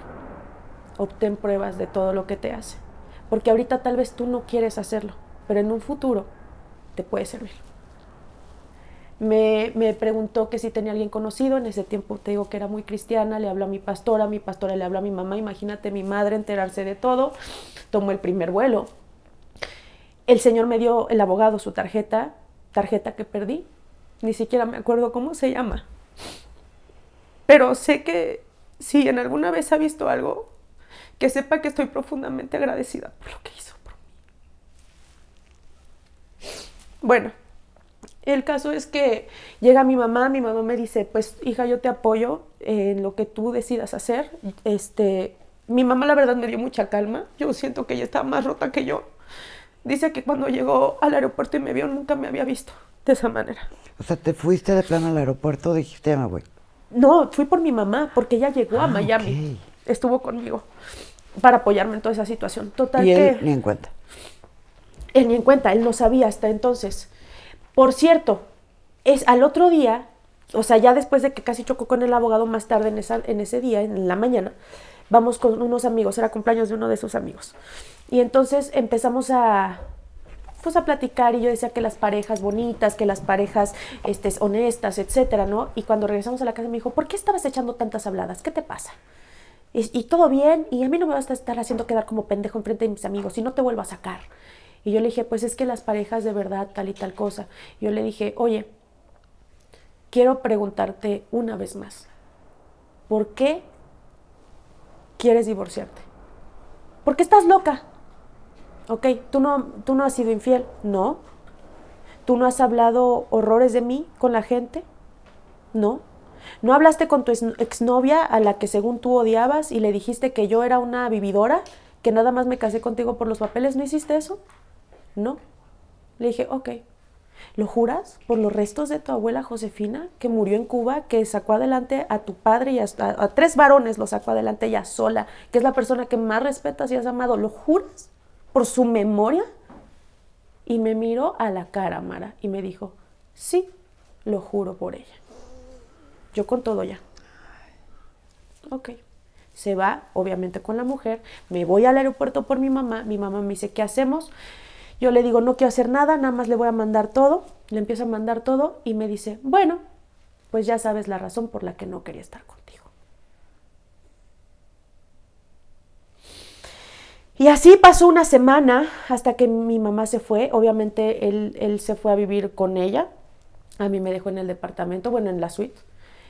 Y después llegó arrepentido, este, por favor, vamos a darnos una oportunidad, voy a acabar lo que tenía con ella. Es que a mí me encanta lo prohibido y como que me gustaba esa sensación y yo todavía, bueno, pues pues que sí.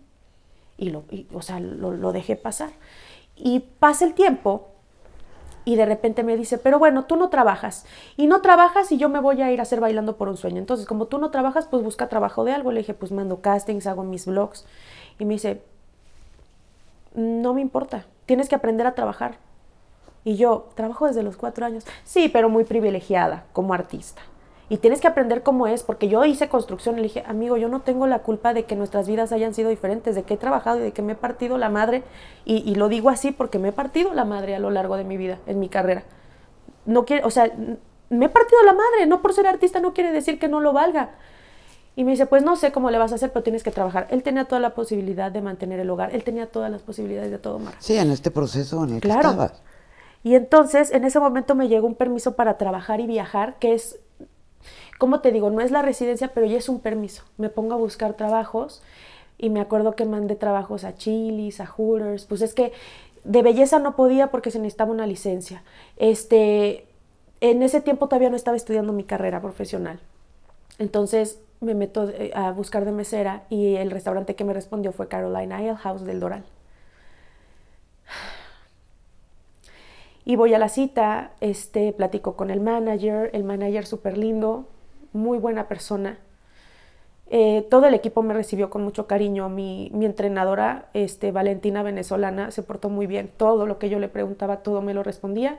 Hice mi examen, saqué 10 excelente y empecé a trabajar como mesera.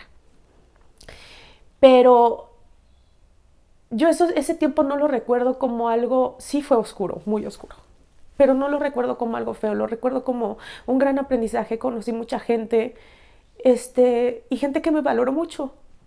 Cuando yo me fui, mi manager, porque nada más duré un mes, yo ganaba muy buenas propinas, era muy atenta con, con, las mesas. Habían compañeras que ya sabían que yo siempre, si ellas no querían atender una mesa, me la pasaban a mí y yo de repente me veía con 10 mesas y decía, ¿en qué momento agarré 10 mesas? O sea, ahora cómo le hago, ¿no? Y corría, iba, venía. Entonces, eh, mis, o sea, cuando yo me fui, mi, mi manager me dijo, ha sido de las personas más trabajadoras que he tenido aquí. Y es bonito, ¿no? Dejar eso en la gente. Eh, me tocó hacer cosas duras, como levantar tapetes llenos de comida que olían horrible.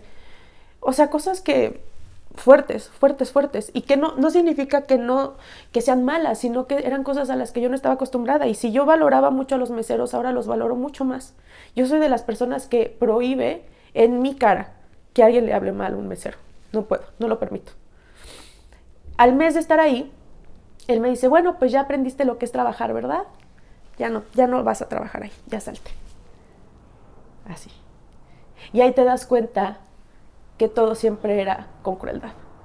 Todo era siempre para minimizarme, todo era siempre para hacerme sentir chiquita. Y yo siempre le demostré a él de mil y un maneras, de mil y un maneras que yo era capaz, que yo era suficiente y que yo era guerrida y que era luchona. Porque si hay algo que me enseñó mi abuelo y mi madre fue a no rendirme jamás y a caerme y levantarme. Entonces, eh, después de esa etapa, eh, nos vamos a vivir a Los Ángeles. En Los Ángeles, me, me, enteré hasta la pandemia que en Los Ángeles me ponía el cuerno con una fan mientras grababa Pequeños Gigantes de juez. Un día llegó y me dijo, no quiero tener sexo contigo porque estás gorda. Así cosas, muchas, muchas muchas. Yo sola en Los Ángeles, sola. Haciéndole todo, o sea, siendo la, mejor esposa que, pude ser y por eso yo no me quedo con nada. Regresamos a México, él se va a cuatro elementos, que es cuando yo entro a la Sonora, ta, ta, ta. Y este, llega la oportunidad. Ah, no, ¿cómo, fue? Cuando yo regreso de Bake Off, que fue el de el reality de pastelería, él no me recibe no me recibe después de dos meses de no estar en nuestra casa. Y este, la única que me recibió fue mi mamá con flores. Y hasta eso él se enojó de que mi mamá pusiera pancartas y globos y así. Él se enojó mucho. que porque era su casa. Que por cierto, cuando compró su casa, su departamento, me hizo firmar una hoja donde yo no le podía pedir nada. Cuando yo lo único que hice fue siempre cuidarle su dinero. ¿Y la firmaste? Claro. Muy bien. Porque yo decía, sí, yo decía, yo no tengo nada que ocultar, tú quieres que la firme, es una ofensa. Sí, pero, sí, pero te la firmo, porque no necesito nada de ti. Eh, empezamos a, a, vivir ahí, te digo, me voy al reality y regreso, y de repente un domingo, o sea, ponle que yo regreso un viernes y el domingo vamos a, a la barbacoa a comer, pues como buenos hidalguenses, ¿no? Con mi familia. Y estando ahí, empieza a hablar y dice, bueno familia, yo quería decirles algo y espero que me entiendan, por favor. Y empieza a llorar. Es que yo soy un jovencito y quiero vivir mi vida. Y pues yo, yo, yo siento que Sandy es la mejor mujer, pero no puedo estar con ella porque quiero vivir, quiero vivir. Y por favor. Y todos así. Mi mamá, mi hermano, mi cuñada, yo. ¿Ok? ¿Quieres hacerlo? Pero no la hagas sufrir, le dijo mi mamá. No la hagas sufrir ya ya es mucho. Ok. Ok, pero pues te vas de mi casa, ¿no? O sea, bye. Y yo, ¿cómo que me voy de tu casa? Sí, pues ya no te quiero aquí. Vete a vivir a donde quieras, pero aquí no. ¿A dónde quieres que me vaya? Pues a Hidalgo. ¿Cómo crees? Si los llamados con la sonora son en madrugada, ta, ta, ta, ta, ta. ¿Cómo crees? Hasta que mi abuelita, mis tías, mi mamá, mis primas, todo el mundo me decía, es que tú no estás abandonando tu hogar. Él tiene que ver por ti al menos para que tú puedas empezar a volar.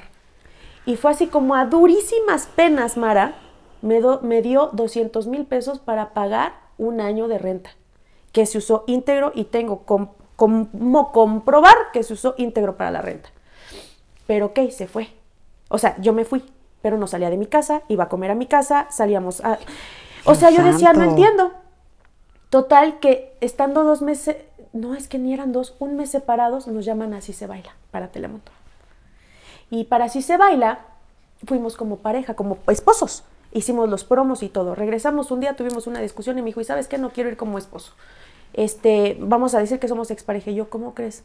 Si no lo hemos dicho al público, yo me siento muy vulnerable como mujer de exponerlo ante la gente, ante el medio, ante un programa de televisión. O sea, yo no me siento bien para hacer eso. Pues si quieres, lo tomas o lo dejas, porque si no, me contrato una bailarina, digo que es mi amiga, porque yo sí quiero ganar. Porque el reality era como de... O sea, las parejas tenían que ser amigos, papá, hija, hermanos, esposos. Tenía que ser una relación cercana, no eran profesionales. Y él dijo, pues yo voy a decir que la bailarina profesional es mi amiga porque yo quiero ganar y contigo no lo voy a hacer. ¿Ok? Cuando me dijo eso Mara, yo dije, no manches, estoy perdiendo una gran oportunidad de salir adelante sola. O sea, es un gran ingreso. Total que un día me llama y me dice, ¿sabes qué? Sí, o sea, sí vas, sí vas tú, pero sí vamos a ir 50 y 50, ahora no. Yo voy a ir 60 y tú vas a ir 40. Y yo dije, ok, sí. Ya después me enteré que a él le dijeron que si no iba yo, no lo querían a él. Dios santísimo. Pero así era como trabajaba con mi mente.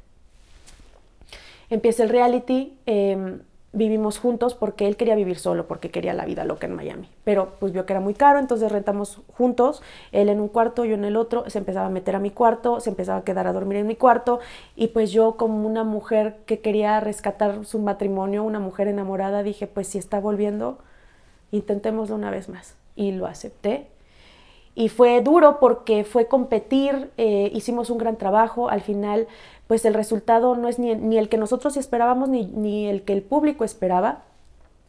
Eh, fue muy duro eh, encontrarnos con que pues sí considero que fuimos la mejor pareja en, el reality y quedar en un tercer lugar fue un golpe muy difícil. al final de cuentas yo siento que Dios hace las cosas por algo y que ganó quien tenía que ganar y los quiero muchísimo a Gregorio y a Luna y a su esposa Erika.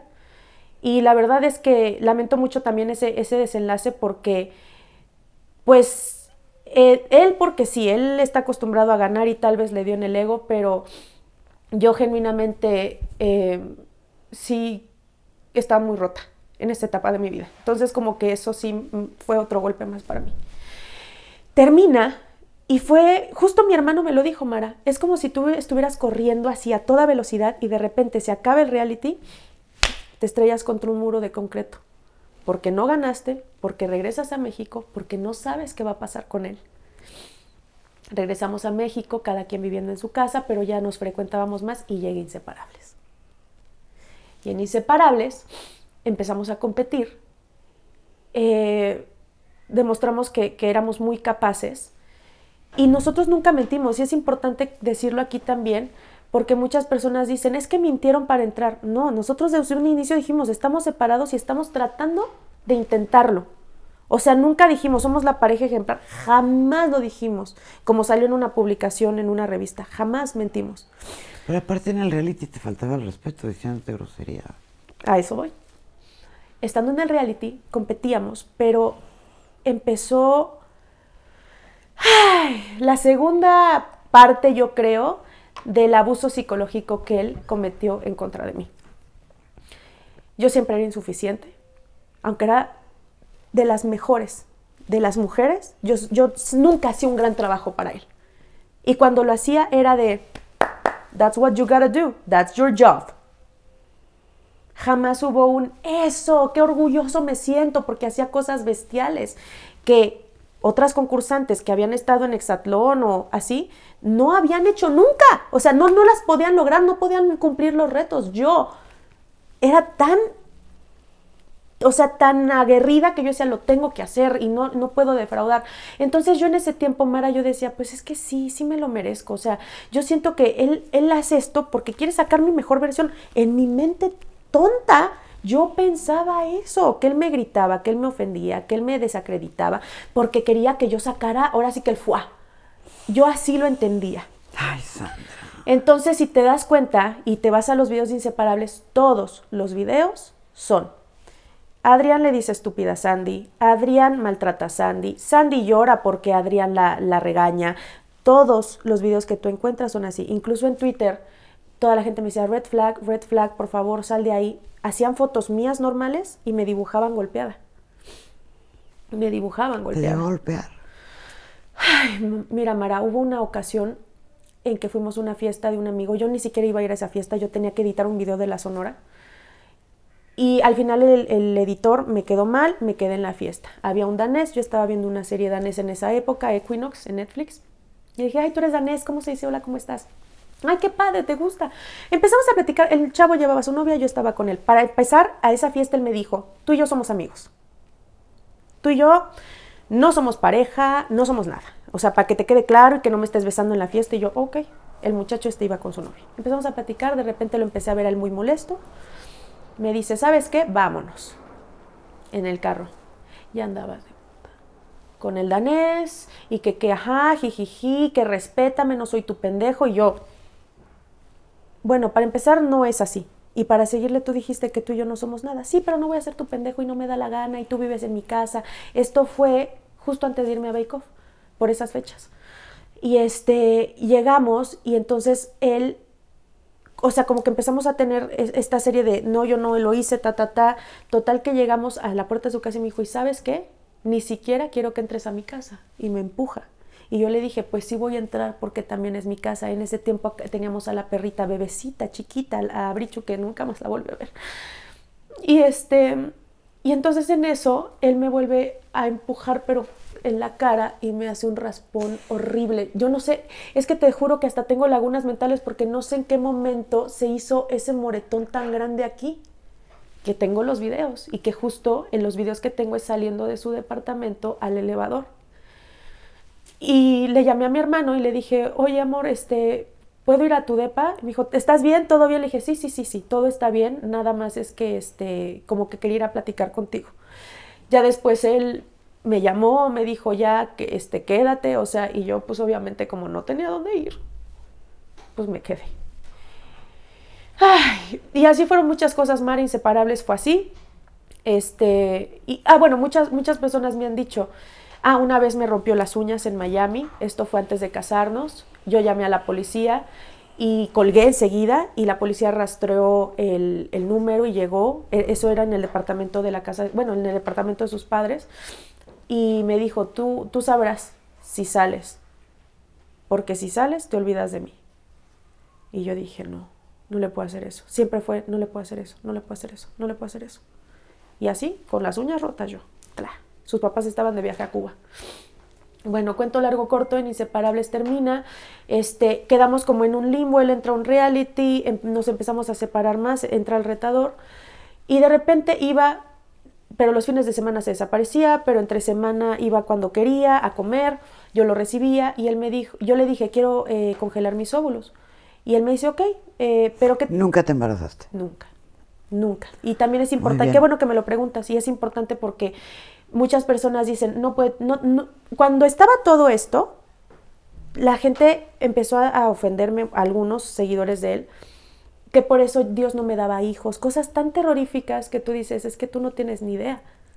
No, yo, yo soy una mujer súper sana, súper fértil, pero yo decía, yo había algo dentro de mí que aunque yo deseaba tener hijos con él, yo decía, no, ¿qué, qué, qué futuro? Total que le digo, vamos a, voy a, a congelar óvulos, me dijo, congelemos juntos. Y yo le dije, pues va, para cuando en un año, porque yo quiero vivir mi vida, pero dame un año. Yo voy un año, vivo mi vida, ando de arriba para abajo y cuando regrese ya vamos a hacer una familia. Y una vez me dijeron, sí, claro, veme a faltar el respeto un año y regresas. Y ya te, aquí te voy a estar esperando. Y así fue. Le dije, ok, pero cuando regrese ya vamos a hacer una familia. Me dijo, sí, pero igual no importa, si no funciona, pues tú como cantante, trabajas los fines de semana, me la quedo yo a la niña, porque es- nuestro sueño era tener una niña, y entre semana tú te la quedas. Así, no la, o sea, que yo trabajo y entonces no la... Y yo, pero es que ni los perritos, ni con los perritos hacen eso. Pero todavía yo decía, sí. Hasta que un día platicando con, con mi familia, con las mujeres de mi familia, con amigas, incluso de inseparables, y me dijeron, a ver, a ver, a ver, a ver, a ver, a ver. Nosotros ya conocimos todo, ya vimos. Nosotros somos testigos, o sea, de primera, de primera mano. ¿Esa es la vida que tú quieres? Que él vaya, que él venga, que tú seas su puerto seguro. ¿Cuál es tu sueño? ¿Cuál es tu sueño? Me decían.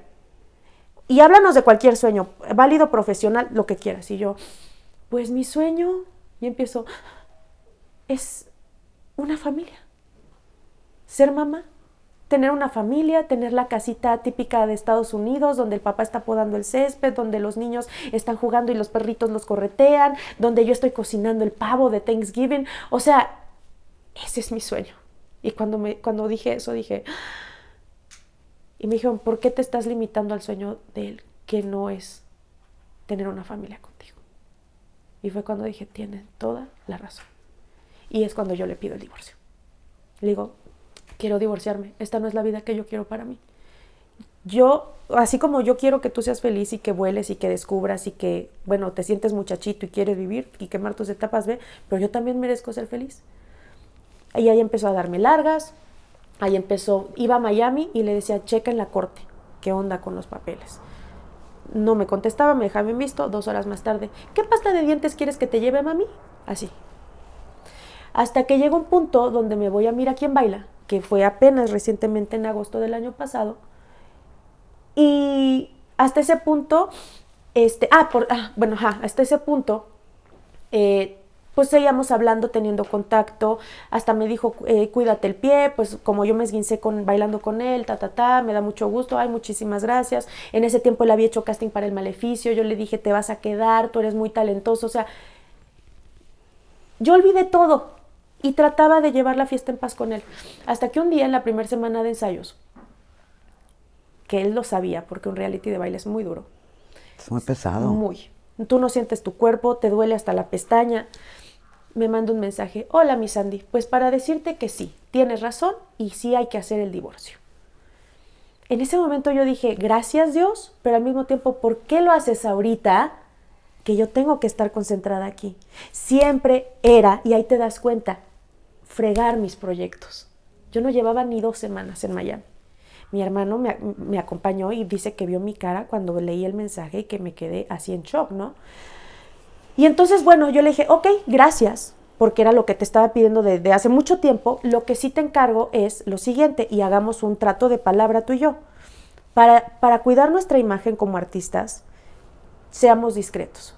Yo en este momento no estoy interesada en tener otra pareja. Si tú sí, puedes hacerlo. Si a mí me llega alguien, también. Pero en este momento el, divorcio va a salir rápido porque no te voy a pedir nada, porque los dos estamos de mutuo acuerdo, no hay hijos, va a salir rápido, aguántanos, o sea, sacamos un lindo comunicado cuando el divorcio, yo estoy dispuesta a decir, todo bien, todo perfecto, somos amigos, ta, ta, ta, adiós. Y si quieres a la hora, subes a tu pareja al otro día, lo que tú quieras hacer. ¿Quedamos en ese acuerdo? Sí, quedamos en ese acuerdo. Perfecto. Y todo es para que a ti no te vean como el cornudo o el infiel y a mí no vean como la cornuda o la... ¿No?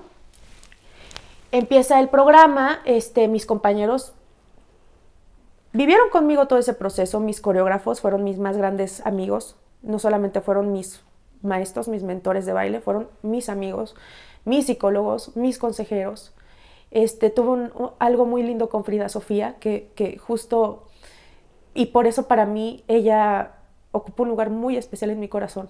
En el primer, eh, en el primer, en la primera aparición de todos, eso se volvía a grabar si, si era necesario. Ya en nuestras coreos no. Lo que sucedía, si te caías y la fregabas, no, no había solución.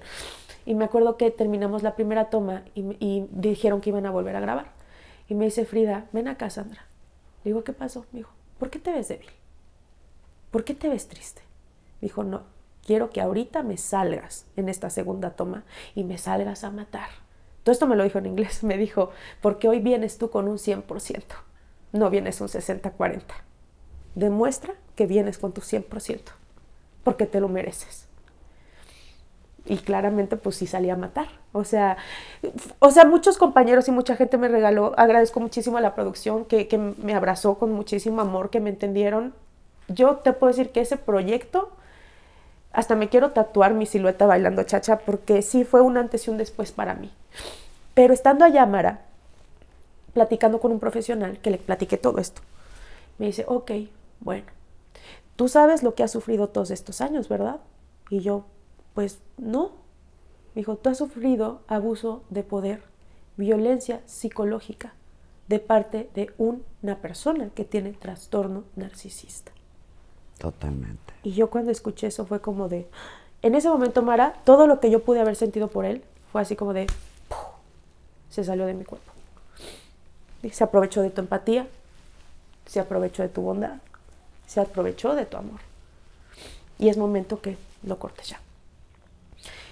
Él empieza a subir cosas en Instagram, este, como habladas como de que ya estaba saliendo con alguien, pero hasta eso yo decía, bueno, no lo ha dicho de su boca, nuestro acuerdo es que no lo publique, de indirectas pues puede dar, ¿no? Sube un video donde da a entender que yo era un infiel, entonces la gente me empezó a atacar y me dijo, no, es que eres una... Y por eso no vas a tener hijos. Y yo le dije, hey, cuida lo que subes, porque aquí la víctima soy yo. ¿Quieres que salga a hablar la verdad? ¿Eres una qué te dijo? Una... Él no me lo dijo, me lo dijo una, un seguidor de él, eres una perra. Ay, Dios santísimo. Eres una perra infiel y por eso Dios no te va a dar hijos. Así. Y entonces yo le digo a él, oye, me están mandando esto, cuida lo que publicas porque aquí la víctima soy yo. Sí. no, o me vas a obligar a sa- salir a hablar con la verdad porque yo aquí soy la víctima. No, que no era para ti, claramente era para mí. Bueno, termina, tenemos una discusión antes de que yo regrese a México, porque, ah, porque me dice, le digo, ¿cómo va el divorcio? Pregúntele y pregúntele.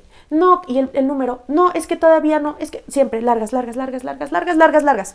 Le digo, ok, ¿qué falta?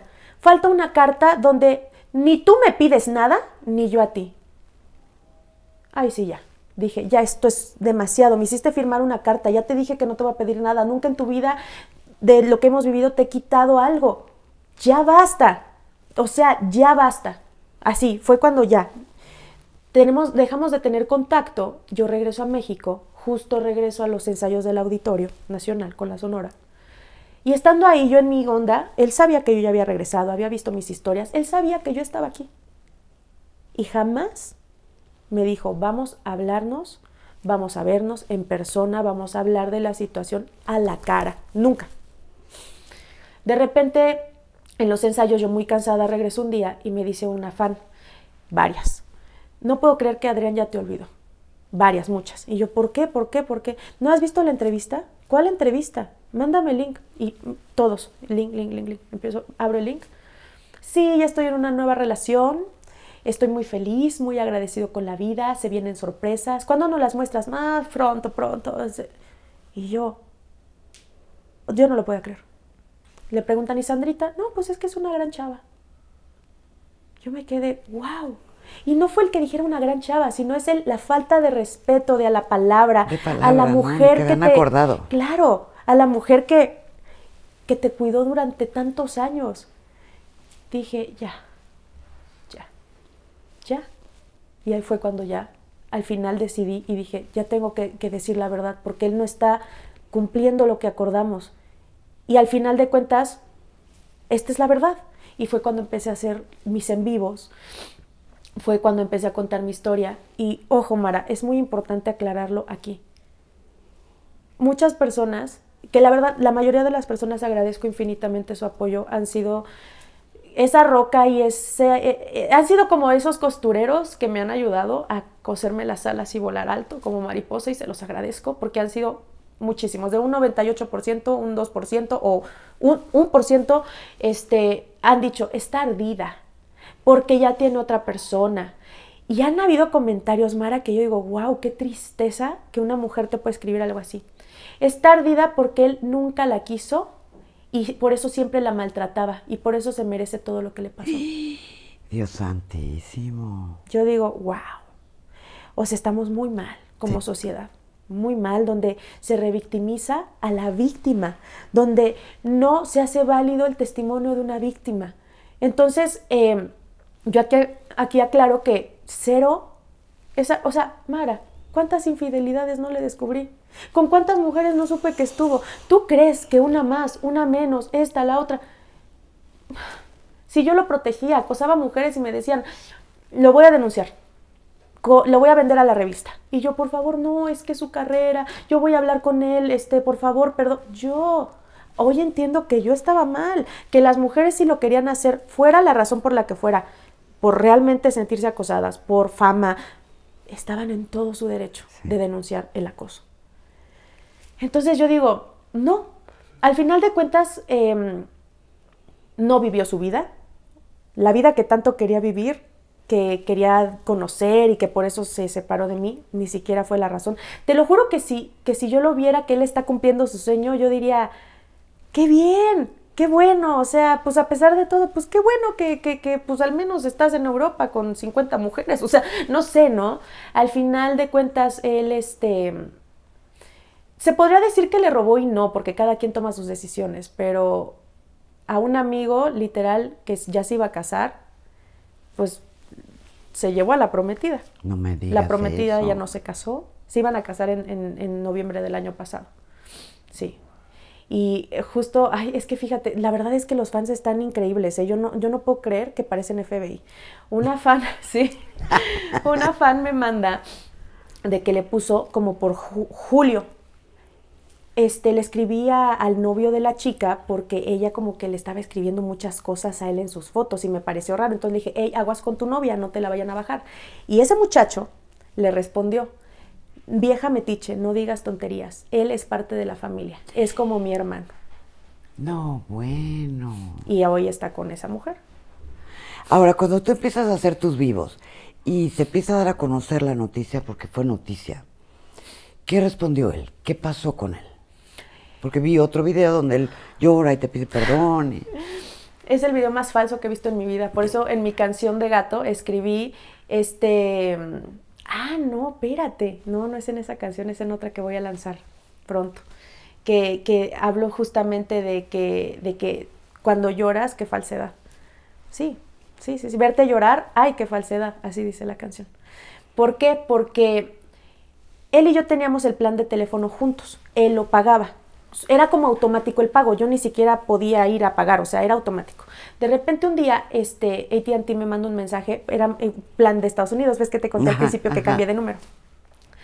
Y ese plan, este, me dice, it's about to expire. Please change your card because it's not going to renew the next month.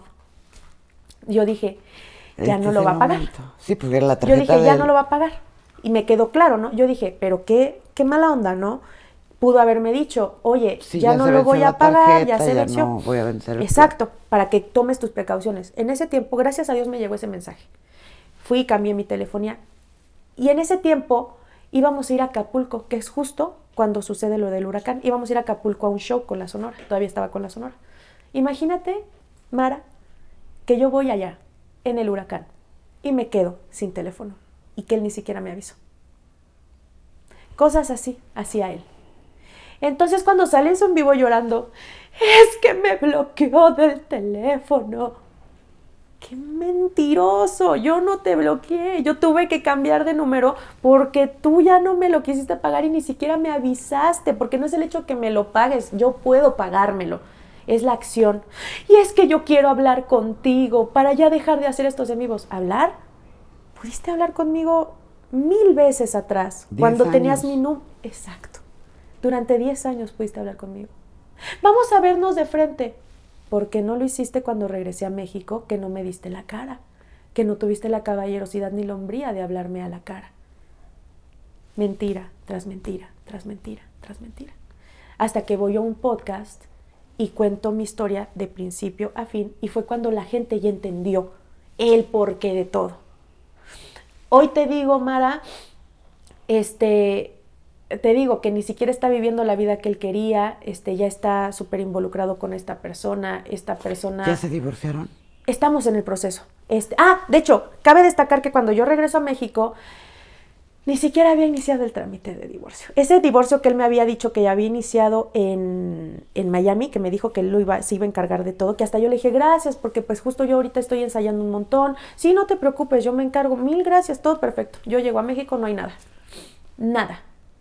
De repente, este, empiezo a ver a mis abogados, eh, me dicen pues que no hay nada, hay que investigar. Yo, yo me quise asesorar mucho porque un día a mi abogado le manda él un mensaje y dice, ah, porque es que es tan largo, Mara, agarra y hay un, me manda una forma de divorcio, pero rara, del estado de Texas, en, el conda- en un condado en el que no nos casamos Nada que ver. con mi correo electrónico mal escrito y quería que yo la firmara.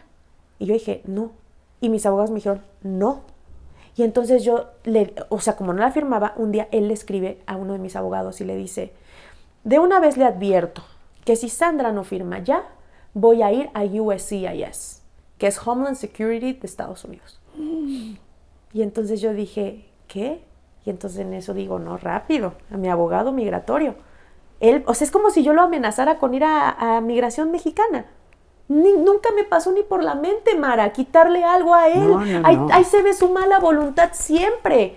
Y entonces le llamo a mi abogado y me dice, a ver, tranquil, tranquilicémonos muchísimo, mi amor. Me dice, no te puede quitar nada, porque en dos ocasiones él atestiguó que de buena fe te daba la residencia. Ir ahorita a USCIS es un delito, porque básicamente está diciendo que él mintió. Entonces él no puede hacerte nada. Te divorcias y no pasa nada. Tú sigues con tu estatus. Ahora, problemas hay muchos que no, que no vengas, o sea, son otras cosas, pero no son con tu matrimonio pero también te va a pasar el, contacto de una abogada familiar en los Estados Unidos. Me lo pasa. Empiezo a hablar con la abogada y la abogada, al principio, pues ya sabes cómo son en Estados Unidos y súper gringa, muy serios. Bueno, casi, o sea, lloró y me dijo, yo te quiero ayudar como mujer. O sea, como mujer todo lo que has vivido ha sido muy fuerte. Y vamos a hacer tu divorcio. Ahora, ¿cuál fue tu última dirección de, conyugal, o sea, ¿cuál fue tu última residencia conyugal? Le digo, pues en México. Me dijo, oh, ok. Bueno, ahí te va mi recomendación. Creo que la mejor opción es divorciarte en México, porque ahí es tu última residencia conyugal. Ok, ya doy luz verde a mis abogados, todo, pero como es un matrimonio de Estados Unidos, acta de matrimonio, traducción, apostilla, traducción de la apostilla, registrar el matrimonio, o sea, son pasos que conllevan tiempo, un proceso. Que en eso estás. Que en eso estoy. Entonces, se atravesó Navidad, se atravesó Semana Santa, o sea, se han atravesado muchas festividades, puentes, ¿no? Y cómo decirle al gobierno, no, no descansen, pues claro, también merecen descansar, ¿no?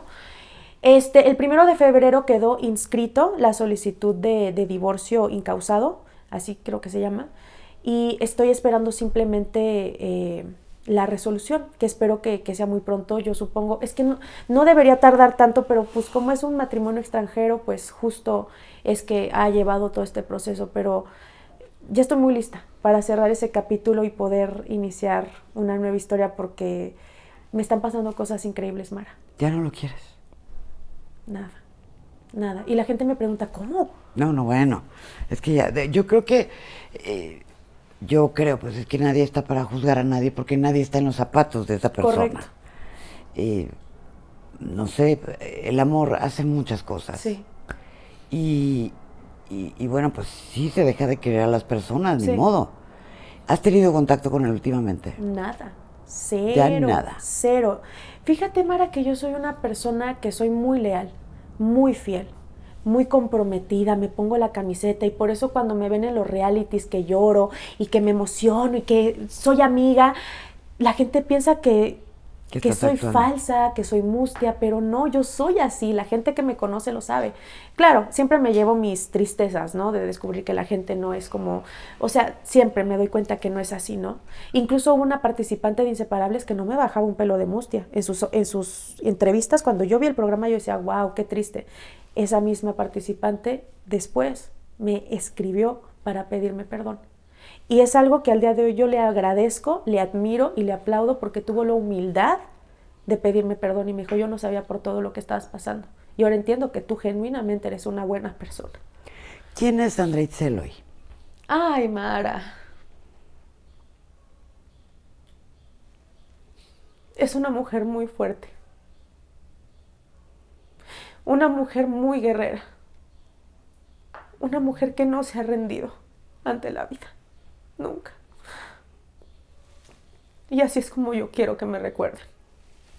El día que yo me vaya de este mundo, más allá de recordarme por mi carrera, por mis éxitos o por lo que llegué a hacer o no logré hacer, quiero que la gente diga, ella fue un buen ser humano y nunca dejó de luchar hasta el final. Yo puedo estar en los últimos segundos de algo, hasta en una competencia, en los realities, y hasta el último segundo, aunque sepa que no lo voy a lograr, yo no dejo de luchar hasta el último segundo. Soy una mujer que ya no tiene miedo, una mujer que ya no se va a callar nunca, una mujer que ahora entiende que nunca tuvo la culpa.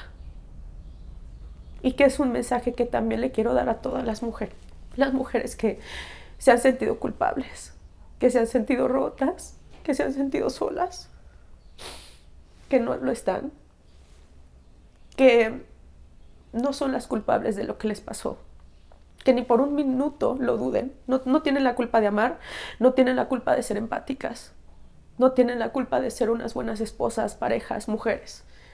Lamentablemente no les ha tocado la persona correcta, pero siempre hay una luz al final del camino que nos permite salir adelante. Yo cuando me fui, bueno, no, cuando, cuando me fueron, cuando me sacaron de, de ese departamento, yo me fui sin nada, sin dinero, sin dignidad, sin amor, sin la perrita, sin nada. Y yo decía, ¿cómo voy a salir adelante? ¿Cómo? Sola. Y Dios es tan grande, Mara, el universo, la vida, en lo que crean, en la divinidad máxima, es tan grande que hoy yo te puedo decir que estoy en el mejor momento de mi vida, que soy una mujer independiente, que es hermoso poder tomar decisiones, que es hermoso poder comprarte lo que quieres, que es hermoso que no te cante en el techo, que no te cante la comida, cosas básicas. Y, que sí se puede, sí se puede salir adelante, sí se puede lograr, eh, sí se pueden lograr los sueños, sí, sí, hay una segunda oportunidad. Y, y, creo que soy esta nueva versión, o sea, de hecho pronto, fíjate, la vida me ha llenado de tantas sorpresas que en, en, todo este proceso, que fue un fin de año muy duro, entre mi separación, entre que salí de la dinamita y que no fue o sea, que me rompieron también ellos el corazón. Yo decía, venía una ola y se iba, y regresaba otra y me daba más fuerte, ¿no? Y yo decía, ¿qué está pasando? Pero la vida me ha sorprendido tanto que llegó a mi vida One Life Music, que es mi, mi actual disquera. Llegó, gracias, ay, llegó Aitor García, creyendo completamente en mi proyecto. Eh, se abre una ventana tan grande eh, para poder explotar mi, carrera como solista, y lanzamos Gato, que fue el primer sencillo, que es de alguna manera inicio una etapa con una canción que cierra un ciclo de mi vida. Y que muchas personas dicen, ay, pero qué ardida, porque canta y que por qué le está echando. A ver, la gente saca sus emociones de diferentes maneras. Las artistas lo sacamos a través de lo que escribimos, de nuestra música, del arte, que es lo que sabemos hacer. Entonces fue una bonita manera de cerrar eso eh, una de las partes que más me gusta de la canción de Gato es, bebé, si me acabe todo el papel de baño, de toda tu estar aguantando. Porque ahora le, estoy, le estoy cantando a lo que un día me hizo llorar hoy lo canto. Y lo canto sin dolor. Lo canto sin, ya sin ningún sentimiento más que como una herida. Porque siento que mi corazón, mi mente está lleno de, rajaditas que fueron muchas durante 10 años diarias pero que aunque sanaron ahí se quedan y quedan como un recuerdo para siempre. Entonces, con eso cerré ese capítulo, viene nuevo sencillo, este, cuando me miras, también escribí una canción para todas las mujeres que es como una carta de amor que se llama Mariposa, porque todas debemos tomar esas alas, cosérnoslas y volver a volar bien alto. Y pues eh, Masterchef, que, que, ha sido también una gran oportunidad de volver a cocinar, porque yo le agarré mucho rechazo a la cocina. Después de Bake Off, que justo te comento que regresé y él no me quería y justo me sacó de su casa. Para mí la cocina era como símbolo de, de cosas feas, tristes. De recuerdos. De recuerdos, de que, ok, cocino, pero me van a sacar, pero, ¿sabes? O sea, y le volví a agarrar amor a la cocina en Masterchef. Y pues se vienen más cosas, Mara. Me siento en el mejor momento de mi vida y sí te puedo decir que siento que, ay, siento que estar con él o en una relación donde uno da mucho y el otro no da nada, sí te estanca. Y yo me sentí estancada porque de verdad, a partir de que me separé de él, mi vida ha vuelto a ser la que era antes de conocerlo. De hecho, muchas personas me preguntan y me dicen, pero ¿cómo? O sea, te iba bien, lo conoces, te va mal Sí, como la película de Lindsay Lohan, cuando conoce al hombre, lo besa y su suerte cambia y le va mal, así, mi historia con él. Así. Pues no sabes cómo te agradezco, Sandra el que hayas estado aquí, que nos hayas compartido esta historia que debe de, de conectar con, con mujeres que nos están viendo o con historias que ya, que ya pasaron y que ya se superaron. Sí. Y verte tan bonita y con esa mirada de, de sueños, de esperanzas, de creer en el amor, Sí. de seguir trabajando. De verdad que no hay forma de agradecer la honestidad de tus palabras y de tu mirada. Ay, muchas gracias, Mara. Gracias a ti por regalarme este espacio, sobre todo porque te admiro mucho, muchísimo. Como te digo, profesional, como mujer. Y para mí ha sido un honor poder abrir mi corazón en este espacio, sobre todo con otra mujer que es empática, que respeta y que, y que sé que también ha pasado cosas duras en la vida. Y que de verdad deseo que ambas logremos todo, todos esos sueños, todas esas metas y que, como siempre me lo dijo mi mamá, puede pasarte lo que sea, pero yo te deseo que al final de tu vida seas feliz. Y eso te lo deseo también a ti, Mara, Muchas gracias. que siempre seas muy feliz y estés llena de bendiciones. Y tú también, llena de bendiciones, Gracias. llena de amor y, y esos sueños cumplidos. Amén. Porque todo lo que sucede son oportunidades de crecimiento. Así es. Así que gracias, preciosa, por venir. Gracias a Que ti. Dios te bendiga siempre. A ti también. Y a todas las personas que nos están viendo, gracias por recibirnos ahí donde está. Gracias. Ya conocen a Sandra Itzel. y, y bueno, gracias, de verdad. Sandra Itzel, aquí en Casa de Mara. Gracias, hasta la próxima.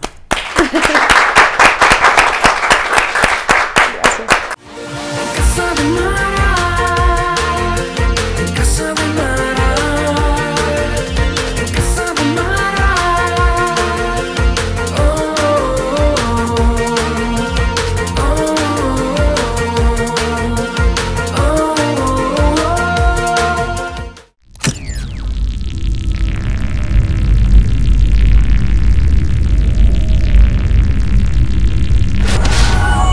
Morita Digital.